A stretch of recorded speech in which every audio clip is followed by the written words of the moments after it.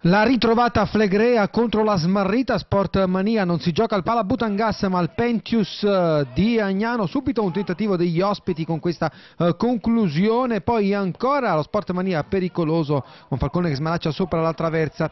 Sempre Sportmania pericoloso nel primo tempo, attenzione a questa chance con la percussione centrale, la rete dello 0-1 al dodicesimo minuto il vantaggio dello Sportmania, prova a reagire la Flegrea. In area di rigore, la percussione centrale, la conclusione sul fondo, poi arriva il gol, l'errore in fase di possesso, la palla dentro con Strangio che trova il varco vincente per l'1-1 al ventunesimo, in chiusura di prima frazione il palo colpito da Sansone, con le immagini andiamo alla ripresa, subito un'iniziativa degli ospiti con lo Sportmania che va vicino al gol, poi ancora il tentativo di Sirico da distanza con la grande parata di Guerriero, uh, qui già ammonito Sansone, butta via il pallone i giocatori della Flegrea recriminano per l'espulsione non assegnata dall'arbitro, arriva invece il gol del 2-1 targato. Sirico al nono minuto della ripresa, incertezza di Guerriero nella circostanza, poi ancora uh, questa chance per Strangio, l'azione di Petolicchio fa tutto benissimo, l'uscita a valanga di Falcone, poi la ripartenza della Flegrea, arriva il 3 1 di Carcatella splendida questa azione corale con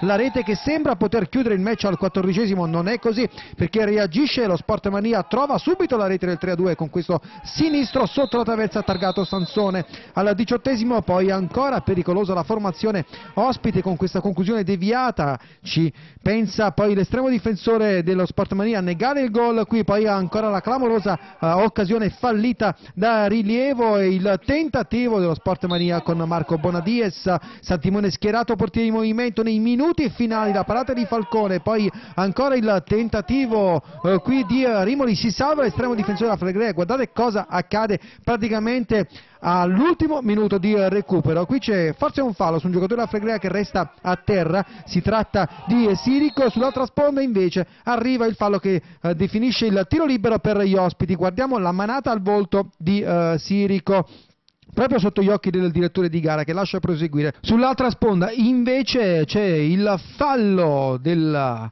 uh, Flegrea, anche in questo caso con qualche dubbio, che uh, sancisce il tiro libero per lo Sport Mania, tantissime le proteste, soprattutto quelle del tecnico uh, Falcone che va ad indicare il giocatore a, a, terra, il gioco non interrotto, viene espulso il tecnico, viene espulso per doppia ammonizione anche il giocatore rilievo e poi Santimone trasforma praticamente alla 66esimo il gol del 3-3, il tiro libero che sancisce il finale della contesa con tante recriminazioni da parte della Flegrea e lo Sportmania che strappa un punto sudatissimo. Come detto benissimo, abbiamo perso un pochettino le tre vittorie consecutive, forse i ragazzi pensavano che, che eravamo già salvi, ma in questa categoria avevano perso un po' di mordente, ma anche nelle 3-4 settimane che ci alleniamo pochi, con pochi elementi. Oggi devo dire la verità, ci mancavano tre persone fondamentali, Garofano, Manzo e Taffaro, il portiere, quindi penso che abbiamo fatto una, una grande partita, abbiamo fatto un paio di errori e l'abbiamo pagati, però alla fine fortunatamente almeno un punto siamo riusciti a portarlo a casa. Guarda, io devo fare una parentesi prima, non ho mai parlato fino ad oggi della classe arbitrale, eh, di quello che succede, se non dal punto di vista del gioco. Oggi è stato un vero scandalo, se devo pagare la giovinezza dei miei ragazzi, l'inesperienza della mia società, il peso mancante della mia società all'interno di una categoria, io posso anche ritirarmi da questo campionato. Non esiste che gli arbitri non facciano gli arbitri alcune risposte denotano da parte del settore arbitrale una carenza totale sulle norme di regolamento. Ho preso l'ultimo gol, come dicevi tu, con un ragazzo che ha preso una manata al volto. L'arbitro ha risposto che non è problema suo. Penso che da regolamento sia problema suo quando si fa male qualcuno alla testa, è proprio specificato, deve fischiare. La squadra avversaria non ha avuto neanche la sportività di mettere la palla fuori, sono ripartiti, i ragazzi stavano pensando al compagno. Ho preso gol. Dal punto di vista del gioco la meritavamo sicuramente noi la partita, loro non hanno fatto nulla in fase offensiva quindi non c'è da parlare su quello.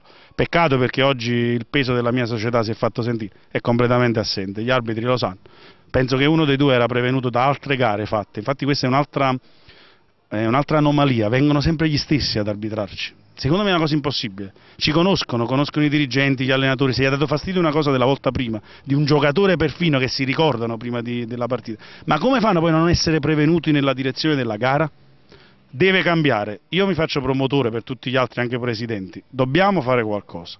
Grazie.